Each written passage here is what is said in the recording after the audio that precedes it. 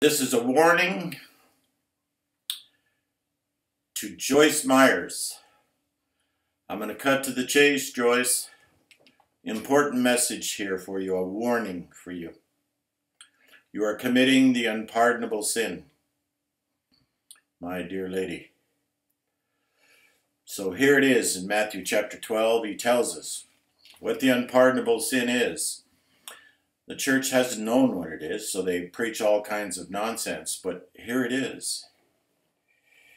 Matthew chapter 12, Jesus in uh, verse 31, 31, Jesus said, Wherefore I say unto you, all manner of sin and blasphemy shall be forgiven unto men, period. Jesus here gives us the beautiful, simple gospel statement which the church has totally denied and rejected.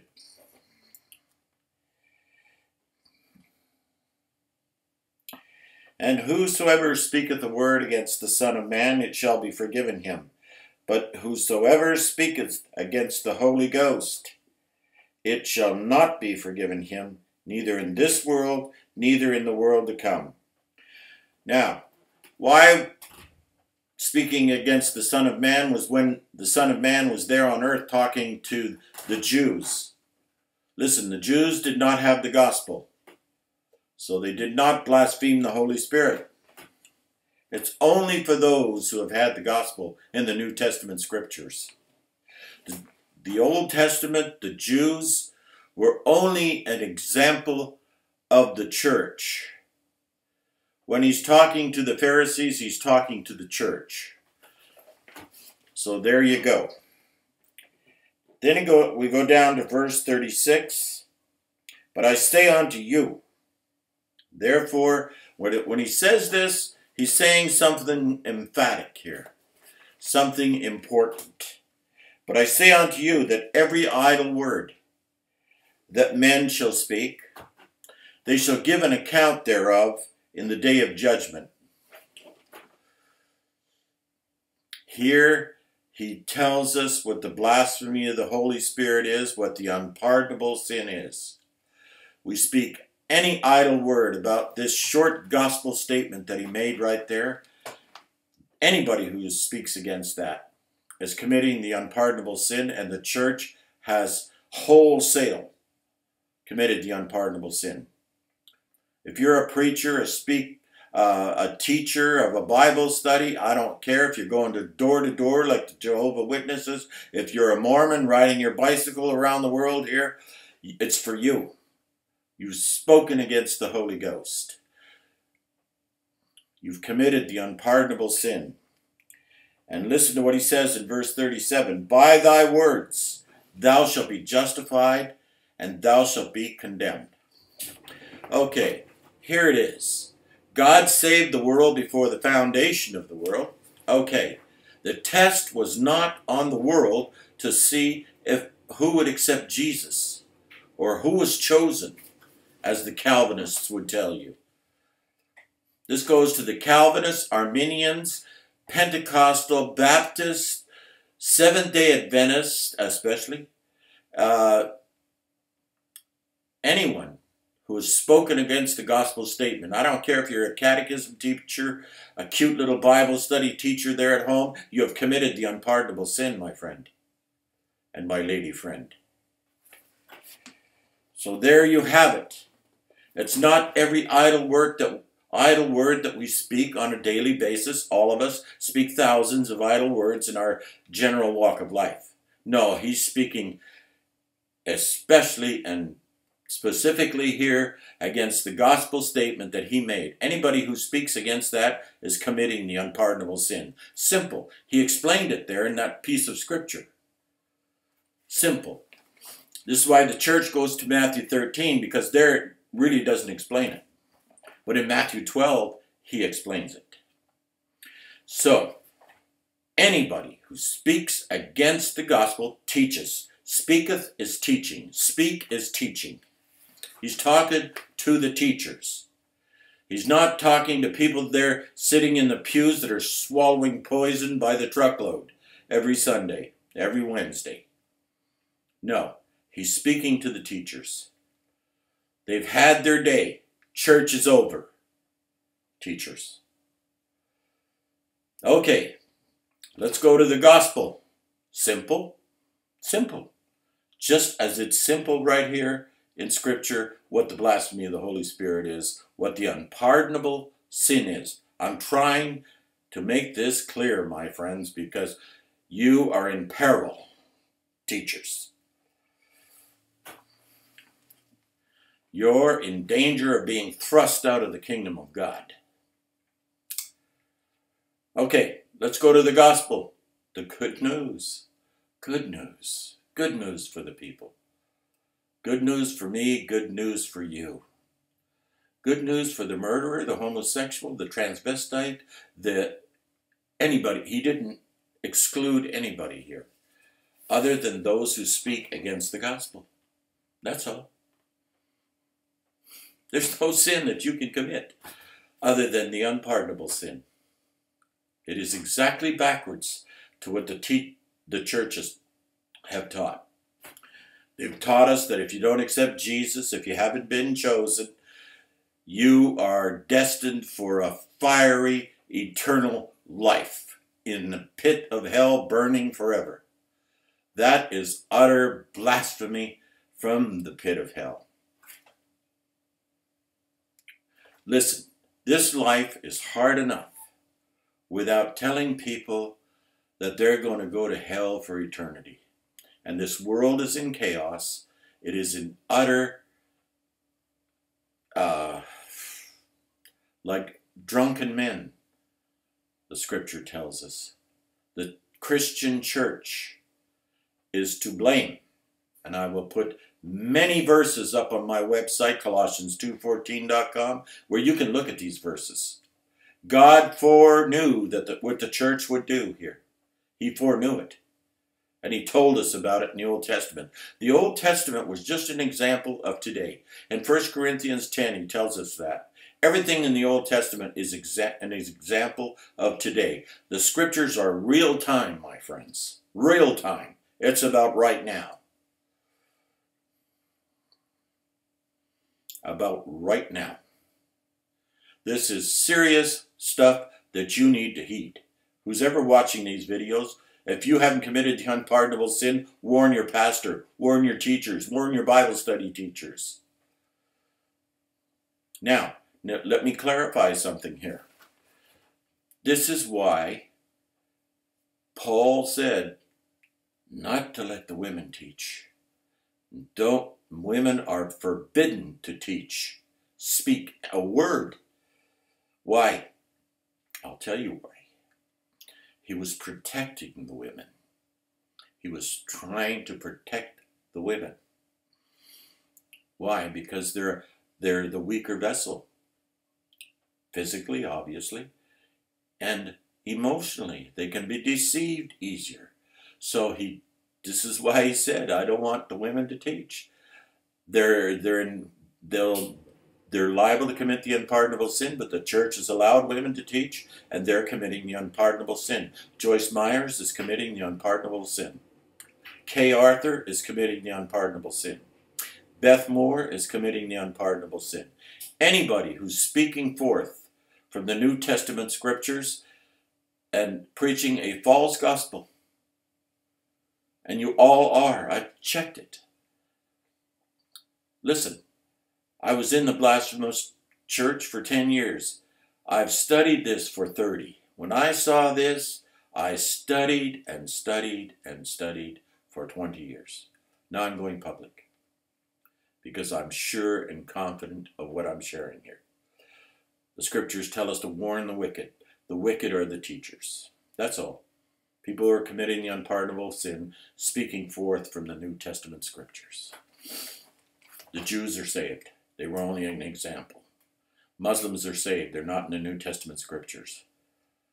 Absolutely deceived because of the Christian church. God blames the, the chaos in this world to the Christian church. Her, the harlot. And I'm just not talking about Catholics here. I'm talking about Catholicism, Protestantism, Mormonism, Jehovah Witnesses, Seventh day Adventists, all of you are committing the unpardonable sin. The gospel was simple. You have destroyed the gospel. Telling people they need to do this, that, you're committing sins, and you need to confess your sins, and on and on. Working up sin like the, you're plowing up a field, Isaiah said. Okay, let's go on to the gospel. Simple, three verses, you got the gospel. Simple. The church has absolutely destroyed the gospel.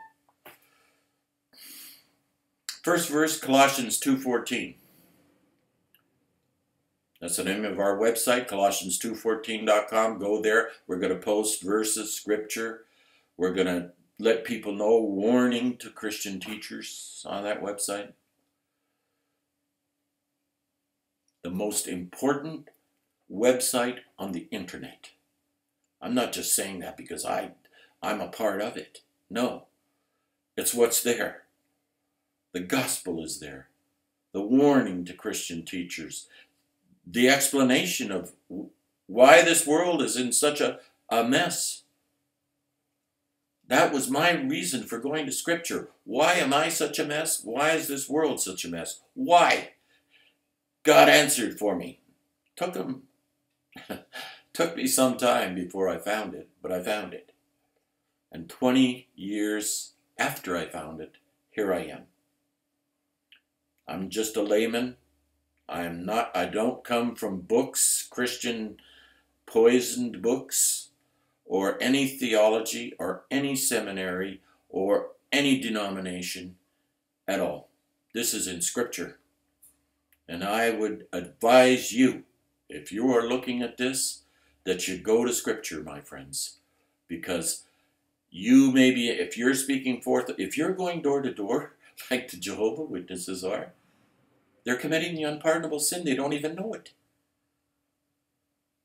They think they're preaching the kingdom of God. Well, they're not. Their gospel is absolutely unknown. Frightening the world, telling them the world's going to end and all this and that. Listen, the kingdom of God is coming soon, I believe. And the whole world will be in the kingdom, except preachers, teachers, and those who committed the unpardonable sin. They won't be in hell. They'll just be outside the kingdom. They had their chance here. They had the New Testament gospel, the witness, all through the New Testament.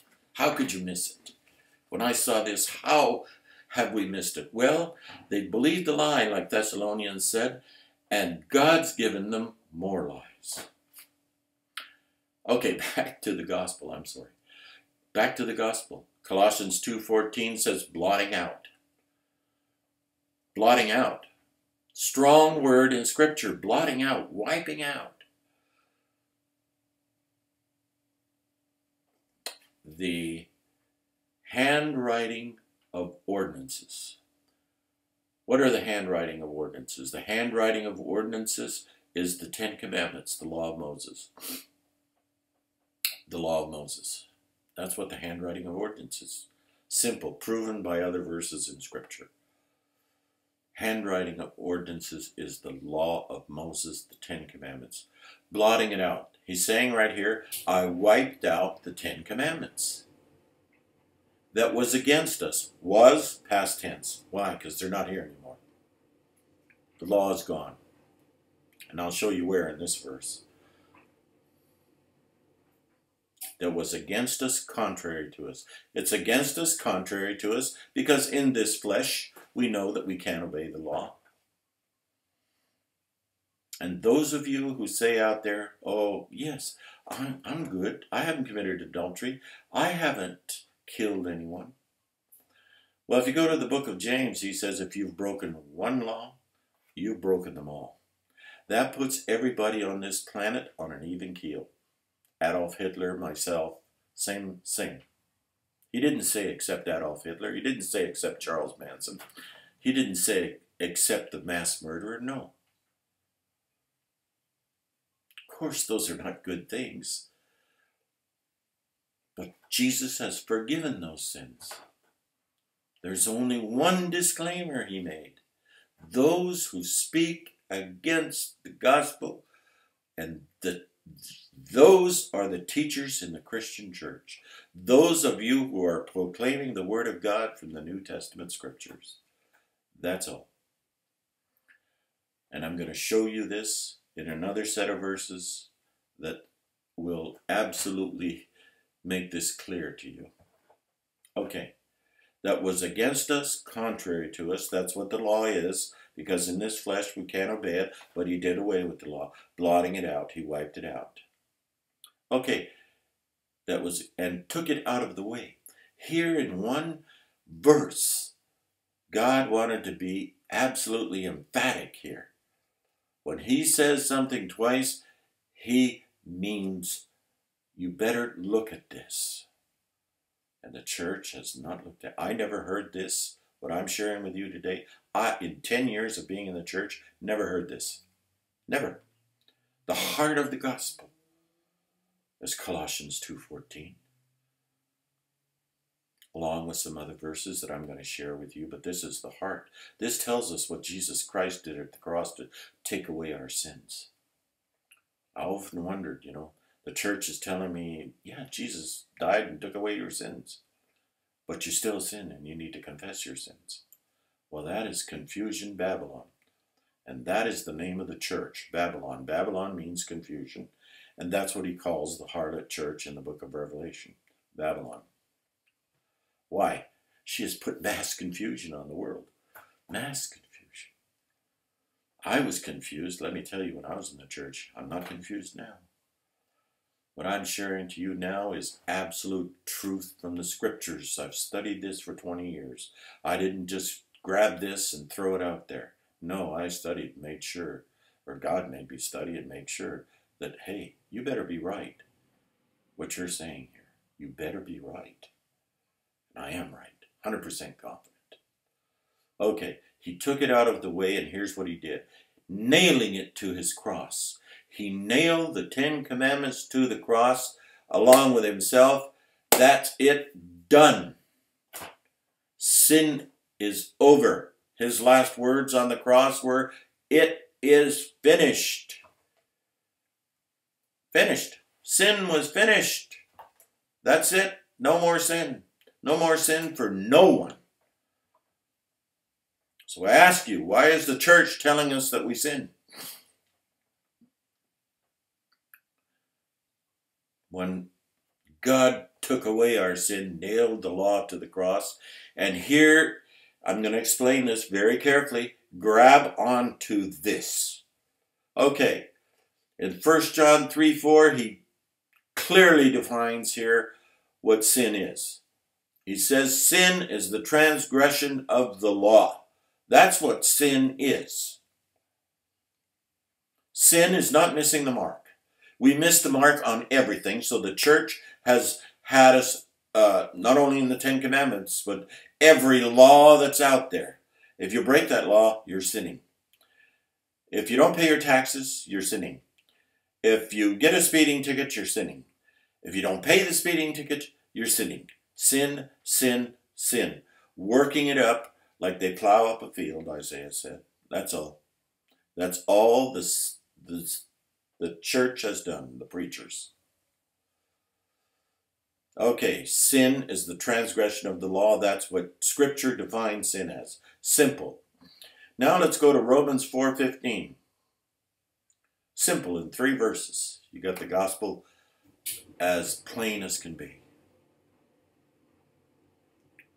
there in Romans 4:15 by the apostle Paul. He says the law, the 10 commandments, the law works wrath. How does it work wrath? It works wrath on man's conscience and makes man crazy. This is why this world is crazy. The law works wrath where there is no law, there is no sin. Write these three verses down, my friends. Colossians 2:14.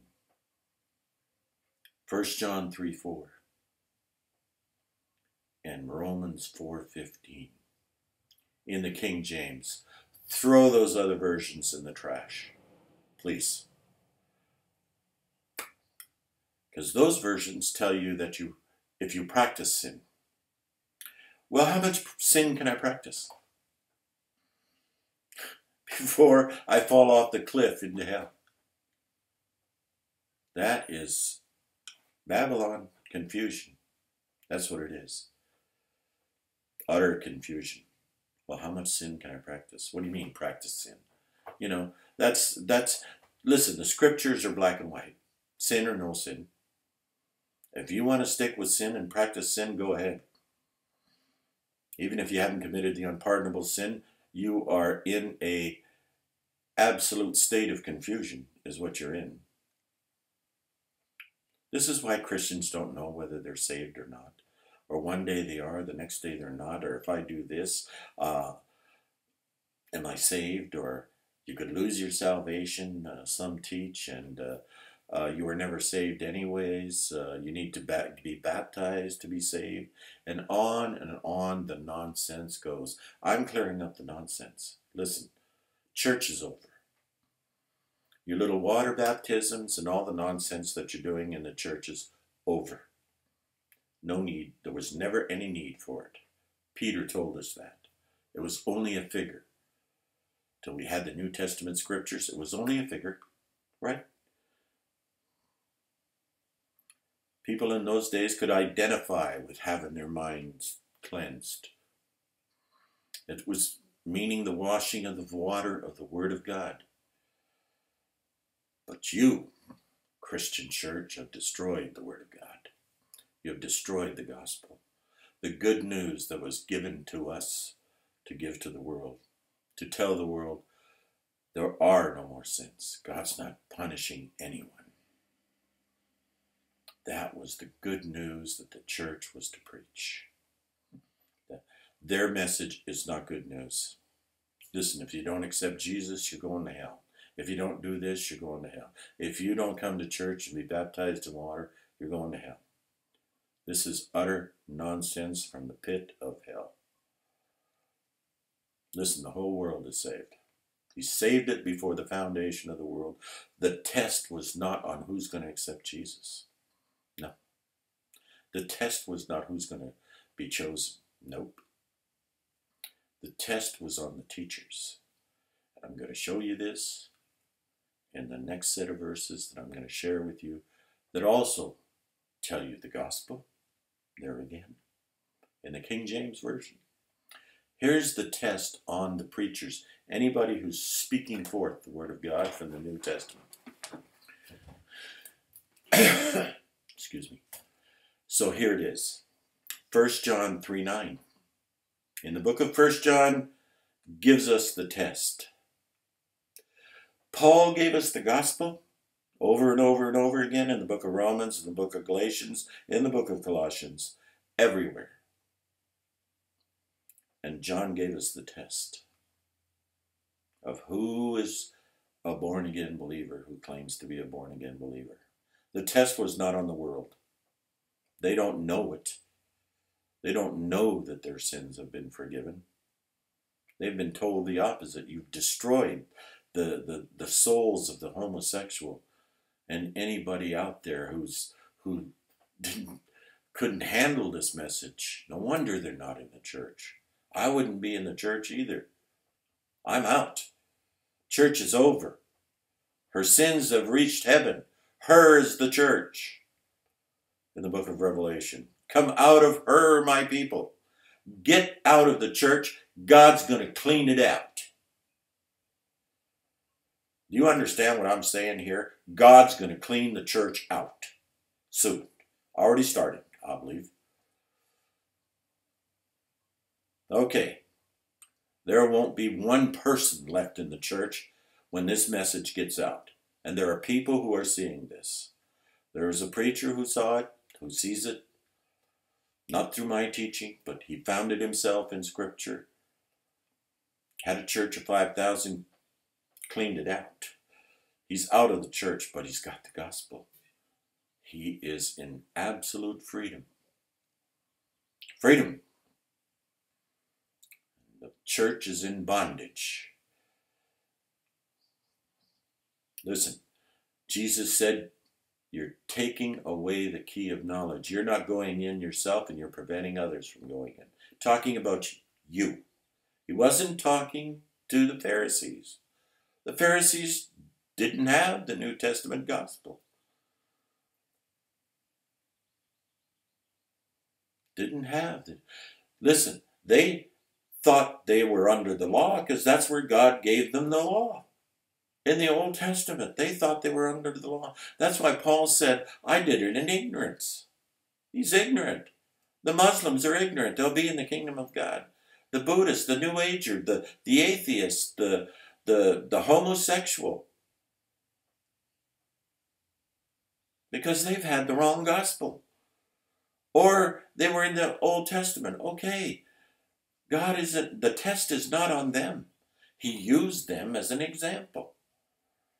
When he's talking to the Pharisees, he's talking to the leaders of the church, the pastor, the evangelist, the Bible study teacher, the catechism teacher. I don't care what you are. He's talking to you.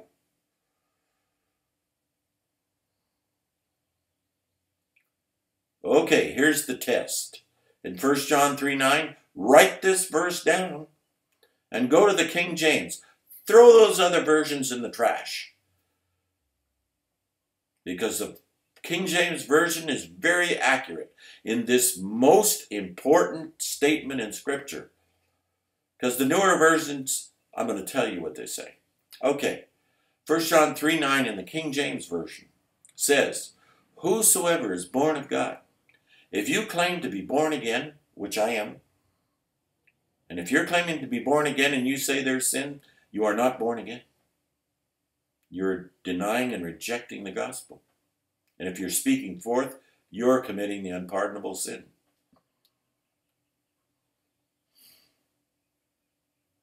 Yes, serious, serious stuff I am speaking forth here. Okay, whosoever is born of God, who claims to be born again, doth not sin does not sin. Does not sin. If you understand the New Testament gospel, you understand that I don't sin, no one sins. Why? Because there's no law to sin against. Simple, simple gospel. Whosoever doth not, was born of God, doth not sin, for his seed remaineth in him.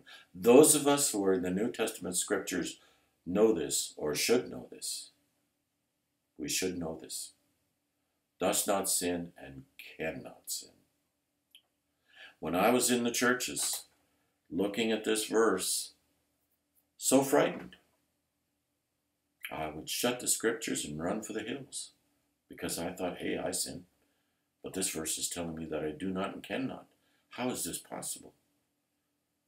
And the church keeps on destroying the souls of the people. Does not and cannot. It's impossible to sin. Why? Simple gospel. Jesus Christ took the law away, and sin is the transgression of the law. That's what Scripture defines sin as, not practice.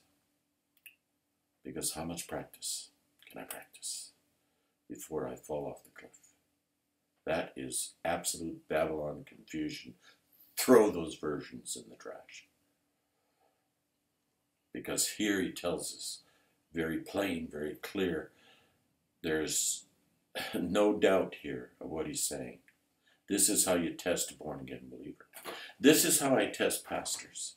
The first thing I will ask a pastor, I, I will say, Do you sin? And he'll say, Yes. And I'll say, You don't know the gospel. He'll say, Yes, I do. And I'll say, What do you do with 1 John 3 9? 1 John 3 9. Well, they'll dance around and tell me in the Greek and all, all this nonsense in the Greek. That's where they go because they don't have an answer. They don't have an answer. So they want to dazzle you with the Greek. Dazzle you with the Greek. Well, I'm not dazzled. I'm, I see it clear and plain now. Frightened in the blasphemous Christian church and the Baptist church or whatever it was in Agoura Hills, California, Agoura Bible Fellowship. And this warning's gone out to them too. and to the preacher that was preaching this. He's in another blasphemous church now in Los Altos, California. Okay, you have the gospel, you have the test, and now I'm going to share with you who's going to be in the kingdom. And there we go to Luke chapter 13. Give me one second here when I jump over there. Luke chapter 13. A disciple there asked, Oh, Jesus, are there few that be saved? Jesus tells them this. Jesus speaking here. Strive to enter in at the strait gate, for many, many are called, few are chosen. There's a similar passage in Matthew. It actually gets more detailed down to who he's talking to. There he's talking to the false prophets, those who say, Lord, Lord. And it's same in this passage. When once the master, or strive to enter in at the strait gate, for many, I say unto you, will seek to enter in and shall not be able to. When once the master of the house has risen up and hath shut the door, and you begin to stand without and to knock at the door, saying, Lord, Lord, Lord, Lord, Open unto us, and he shall say, answer and say unto you, I know you not whence you are. He doesn't know you, Mr. Preacher. Then shall you begin to say, We have eaten and drunk, we've been in the seminaries, we've been taught by the best, Jesus. We've been taught by many, they'll say. Billy Graham or Moody or Martin Luther. Close. But no. There came out of the blasphemous Calvinist gospel. John Calvin, absolutely no. Didn't know the gospel. gospel. Jonathan Edwards, a devil of devils. I'm sorry. I can go down the line here, down to today. If I start naming them, I'll be here all day and all night. They've missed the gospel. They, are they have committed the unpardonable sin. It's exactly backwards to what we think. And you'll see it in this set of verses. You, we have eaten and drunk in the presence, and thou hast taught in our streets. You've taught in our seminaries, Jesus. In the New Testament scriptures, we were in there. But he shall say you preachers and teachers and Bible study teachers, he shall say, I tell you, I know you not whence you are, depart from me. All ye workers of iniquity. Now, let me explain what a worker of iniquity is. It's a preacher who's just working up sin, more, some more than others. But in the end, the test is to Mr. Preacher is do you sin? Is homosexuality a sin? One of your supposed great preachers there, Joel Osteen, he was asked that question on television had an opportunity to, there to share the gospel to the world to Larry King. But no, he said, yes, homosexuality is a sin. Well, I'm sorry, Joel Osteen, but you're a child of the devil. I don't care how nice sermons you have or the positive teaching that you're doing. When you boil it down, you are preaching a false gospel and you are committing the unpardonable sin. You had a beautiful opportunity there before millions to tell them there is no sin. Does the homosexual commit sin? No, he does not. Why? Because there's no law to sin against. It's as simple as that. You could have quoted Larry King these three verses, very short, and given the gospel to the world.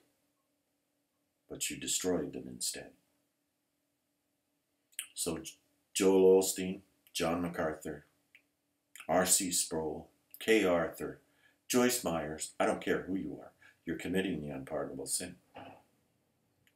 And down to your catechism teacher in the Catholic Church, down to your Bible study, cute little Bible study teacher there at home. If you're preaching a false gospel from the New Testament scriptures, you're committing the unpardonable sin. God, in His mercy, is warning you in this period of time. I don't, for whatever reason, here He's coming down. I believe to judge the church. Not going to judge the world. They've been saved. They just have been told a lie. They're in a safe place, as you'll see as I quote the next set of verses here. There shall be weeping and gnashing of teeth. He goes on to say, and, and they shall come from the east, and from the west, and from the north, and from the south. The whole entire world will be in the kingdom of God. And the Christian teacher, blasphemer, who's committed the unpardonable sin will be thrust out. They'll come from the north and from the south and shall sit down in the kingdom of God. There it is. They've come to the kingdom of God from the whole world, except those he said to, I never knew you. You should have known better. I gave you the abundant witness in the New Testament scriptures. This is serious. You can throw this out, but you'll be responsible. You need to tell Joyce Meyer she's committing the unpardonable sin. If you're watching this video, you need to tell her, or you need to tell her to watch this video.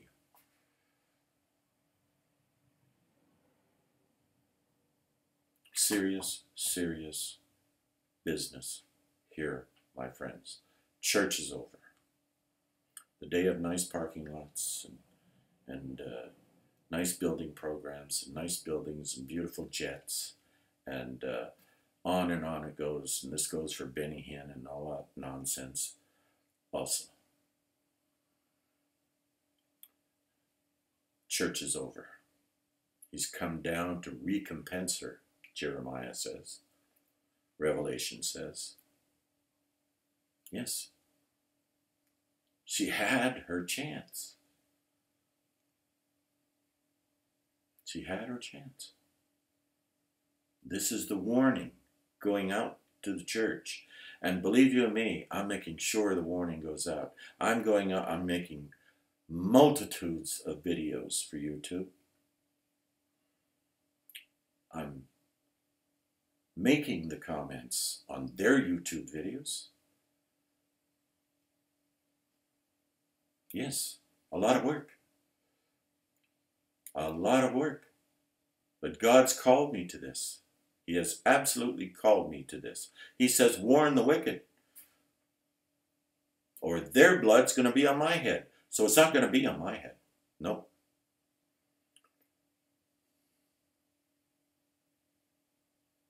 I've been obedient to God, warning you Mr. Christian Preacher, Mrs. Christian Preacher, who should have never been preaching in the first place, dear lady. Thank you.